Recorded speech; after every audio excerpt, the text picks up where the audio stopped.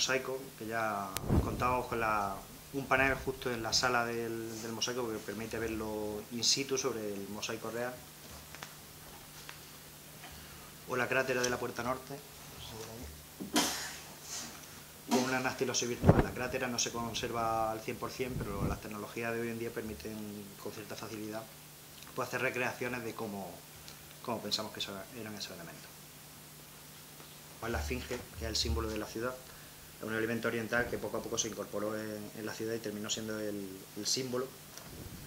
eh, hasta el punto de aparecer las propias monedas. Esta es una de las joyas arqueológicas que se conserva en el, Museo Arqueológico de Linares y pertenece a un conjunto que se,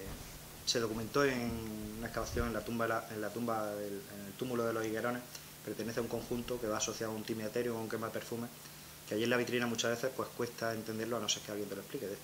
Con esta tecnología pues nos permite, por ejemplo, pues, ver una reconstrucción de cómo era el conjunto.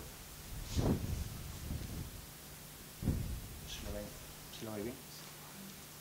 básicamente una copa donde se quemaba incienso, se quemaban perfumes, y la esfinge que sería, según las interpretaciones y la hipótesis, el láser de una, pequeña caja donde seguramente se guardarían los productos que se quemaran en este timete.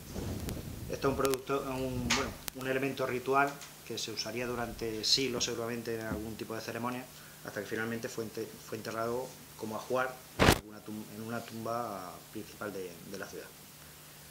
las investigaciones arqueológicas permitieron recuperar este, estos elementos y hoy pues están disponibles en el, Museo Arqueológico de Linares para cualquier visitante que, se anime a verlo. Y sin más pues os animo a que descarguéis la aplicación, a que descarguéis también el folleto, incluso hagáis con uno